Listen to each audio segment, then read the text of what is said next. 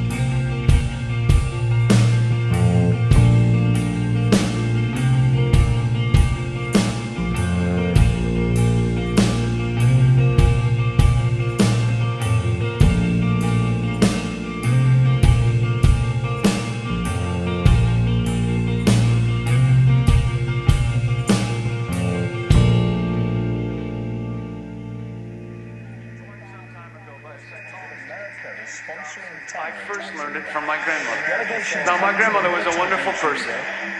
She taught me how to play the game Monopoly.